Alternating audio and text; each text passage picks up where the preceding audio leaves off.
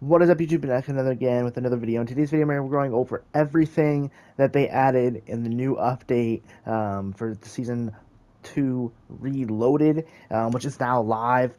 Um, but before we get into that, I just want to let everyone know that um, the next couple of days uploads may um, slow down or pause.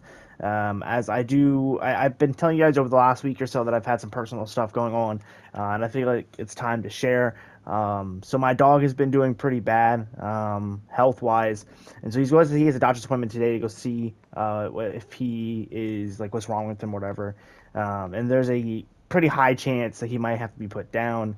Um, and uh, yeah, it's just gonna be a rough week if that's the case. So if uploads slow down or they're not the best quality, I do apologize in advance.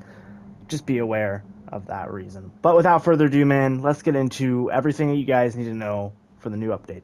So first off, obviously the big two things, the two new weapons. I've already used them quite a bit. Um, here's the new SOA um, Subverter, which is basically it's a battle rifle in this game, but what it's supposed to be is the XR160 from Call of Duty Ghost and uh, Advanced Warfare uh, and Infinite Warfare but the Advanced Warfare version, and I believe the actually I think all three versions were full automatic uh, ARs, but this is a fully automatic um, battle rifle, so it's a little different. It's a, it does definitely hit a lot harder, but it's obviously very different compared to like the originals. But that's that. We also have the Soul Render melee weapon. It's basically like this um Norse mythology, like god fucking sword is what I think about it. When I see it, it's what I think about. I think of like the swords that like you'd see in a, a Norse movie or something with like Thor and Odin and all that. But uh, I think it's also supposed to be a sword themed from because it says it's a ceremonial blade, so I'm assuming it's supposed to be themed from the whole Dune movie because this is one of the guns that has a, a version for it for the Dune um, bundles. So it could just be a Dune theme thing. Other than that, uh, there's a new event live currently for 293,000 XP. You get this camo. It's pretty dope looking. Um, obviously, it doesn't look the best in this menu since you can't see it yet. Um, we also have a double XP weekend coming up in about a day. So not, I think it's tomorrow afternoon it'll go live. The new melee weapon has a new area here in the battle pass. These are the challenges. You also get some critical stuff. You get this um, uh, aftermarket part for I believe the I believe it's supposed to be the G36. You have this emblem, um, then you get this double XP token, and then you also get this new free camo here as well. Um, and then you also get the uh, Soul Render at the end, obviously, and then that's that. Let's see what else. Um, new bundles in the store but these no one I don't think really cares about. It's the Dune Part Two skin for Harkon, um, and then obviously Paul Atreides is back. I really wanted to get this skin, but at the same time, I just don't know if I want to give this game another twenty dollars for uh, a crossover skin. I'm I'm really torn if I want to do this this bundle or not. Um, those are the two new bundles. Uh, so there's also some other small life changes that they've done that are really nice. So you can now uh, go to your challenges and say you want to do weekly. You can now track weeklies and see them in game, which is. It, it, it, I don't understand why this hasn't been a thing for forever, to be honest with you. Um, same with uh, camos. It doesn't work for camos, but I really would like them to do for camos. If they could do the same thing, just like select one or two camos that you want to keep track of in game, or even the Ultra Mastery, keep track of Ultra Masteries in game so you can kind of see where you're at with them. That would be super dope. But here's also the weekly challenges for the new gun as well as it is a weekly reward. Um, and that'd be week five. So we have three more weeks in the season left, which is pretty sad to think about it. You can also do the whole track thing with events as well. So if you want to just say, um, let's say you want to track this event, you can just hit boom. Now it's tracking, and you can see the challenge in game, so you can keep track of it, which is super dope.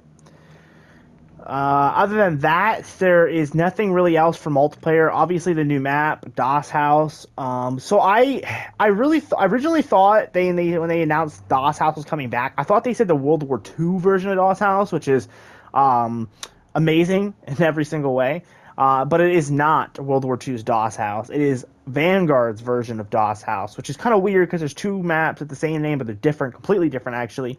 Um, but it's the Vanguard version, so it's still pretty cool. I played it. it actually plays really, really well for challenges. Like I, I flew through to the uh, event challenges the, for the for the sword pretty quick on that mo- on that map. Um, so that's a good place to grind that. We also got Bounty, which is basically like an HVT mode. Um, I believe they added Dome from MW2 from last year uh, as well into the rotation. Um, but I don't know if that's in yet, that might be added later today or something. I know it's um, supposed to be coming. Also, shipment is now no longer shipment. We have we got the Christmas ship moss version of the map. So now there is no longer a standard shipment in the game. As far as I as far as I know, they said that they completely removed it. So it might I don't know if it's still in custom games or not, but standard for multiplayer now will be ship uh, shipmas, which is the Christmas version. So if you're if you like the Christmas version of shipment, WU I guess. Um, let's see what else. Uh, also in zombies, added a couple small things that I'm sure people will make videos on. I don't know how to really explain them. They're just kind of like small items you can find in the game. But obviously, we also have the new story um, as well. You can see right here. If we click on it, you can go to the new Aether anomaly and escape from it. You get this little charm. Um, also, they added a uh, streak thing, a little win streak, like a exfil streak thing that you can do. Um, uh, you have to get one level 100 for the decam uh, the containment level to really receive these rewards, all of them, uh, or you can get them as you go. Obviously, um, I have since died. well, I didn't die. I had to go do something, so I just dipped out of the lobby. I just dipped. Um, so that's why I have nothing on my character. But if we go to schematics, um, you can see here uh, that they added the VR11 case now in the schematic section, as well as they added two new things: the mag of holding, which I believe is just um, if you have this activated, it won't you won't need to reload for that game. Pretty much any gun you use will be from stock, so you won't need to reload, uh, which is really nice for if you're doing challenges that require like kills without reloading. Pop this thing on, do all those guns in one game, you'll be set. Um, then they also said this thing, the blood burner keys. I have no idea what this does. I have seen no one talking about it, so I'm very interested to see what this does in the future. And if you know what this does, let me know down below. I'm very curious to see what this does. Um, the stash is still sadly 10, unfortunately. Um, it does suck, but it's still 10. I think they said they have no I no like plans to increase it anytime soon, so it's kind of sad. Um, other than that, that's pretty much everything in this new update. There really wasn't that much. Uh, they did some small life changes, like um, they nerfed the uh, throwing knife in Warzone. Uh, they did a bunch of weapon nerfs and buffs, um, but for the most part, it was pretty bland. Um, the a couple things are broken, like the um, the NAT type, the latency thing at the top of the screen. That's completely broken at the current moment. Um, but other than that, man, that's pretty much all in Season Reloaded. I know it's not a long video, not a lot of stuff in this video, but that's because this game just didn't have a whole lot of content to begin with at the moment. So, with that being said, though, I'm going to end it here, man. I love you all. You're of a kind, and I'll see you guys in the next one. Later.